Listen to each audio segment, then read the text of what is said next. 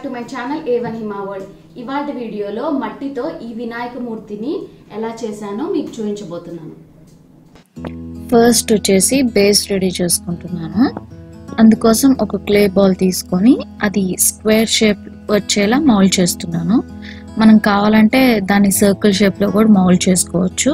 మన ఇష్టం scale use చేసి ఎడ్జెస్ అనేవి కరెక్ట్ స్క్వేర్ షేప్ వచ్చేలాగా చేస్తున్నాను.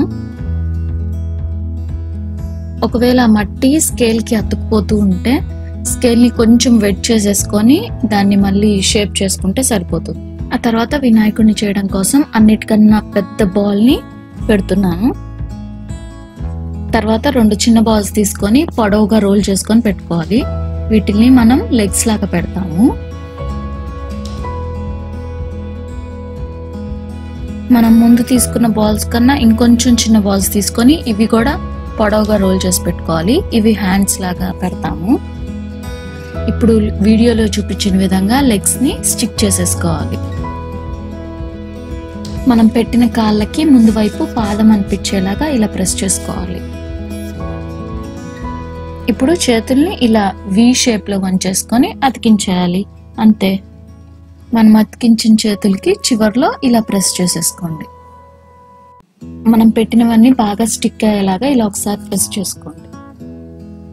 ఇప్పుడు తల బాగా నిలబడడానికి ఒక టూత్ పిక్ని గుర్తు చేసుకొని దానిపైన తలను పెట్టేసుకోండి.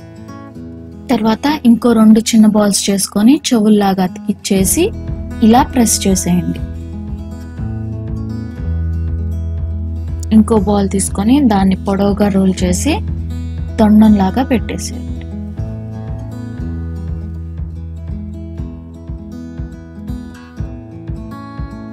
ఇప్పుడు మనం చేసిన చేతిని ఒకదాన్ని ఇలా పైకి పెట్టేయండి. ఇంకో చేతిలో ఒక చిన్న బాల్ పెట్టేయండి లడ్డూలాగా ఆ తర్వాత ఒక మూడు వేర్వేరు షేప్స్లో ఉన్న బాల్స్ తీసుకొని అవి ఫ్లాటన్ చేసి ఒకదానిపైన ఒకటి పెట్టేసి ఇలా కిరీటంలో పెట్టేయచ్చు. ఇప్పుడు ఒక టూత్ పిక్తో చిన్న చిన్న గీతలు వేళ్ళలాగా చేతుల పైన కాళ్ళ పైన గీసేసి తొండం పైన చిన్న గీతలు గీసి పైన నుదుటిపైన నామాలు గీసేసుకోవాలి. చెవులకు కూడా గీతలు వేసుకోవాలి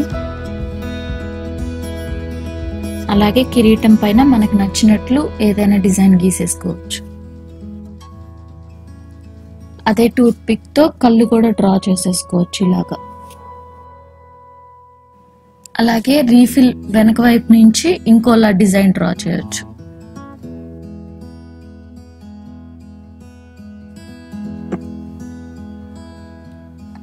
అదే రీఫిల్ యూజ్ చేసి కళ్ళ దగ్గర డిజైన్ వచ్చేటట్టు పెట్టాను. ఇప్పుడు వినాయకుడి వాహనమైన ఎలుకను చేయబోతున్నాం. దానికోసం ఒక చిన్న బాల్ తీసుకొని దాన్ని సిలిండ్రికల్ షేప్లో మౌల్డ్ చేసి ఒక మూతిలాగా ఇలా పైకి పెట్టాను.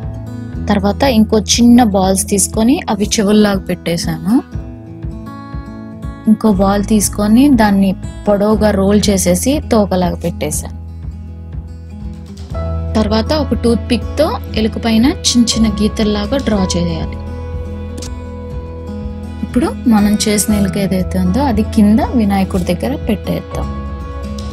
ఇక్కడితో వినాయకుడిని చేయడం పూర్తయిపోతుంది. మీరు ఇంకా చేయాలనుకుంటే ఇలాంటి చిన్న చిన్న చైన్స్తో వినాయకుడిని అలంకరించుకోవచ్చు. అంతేకాకుండా వినాయకుడిని చేయడానికి కరెక్ట్గా ఎన్ని బాల్స్ కావాలో ఇంకా ఇంకొంచెం వేరే పద్ధతిలో వినాయకుడిని ఎలా చేయొచ్చు అనేది నేను ఇంకో వీడియో చేశాను.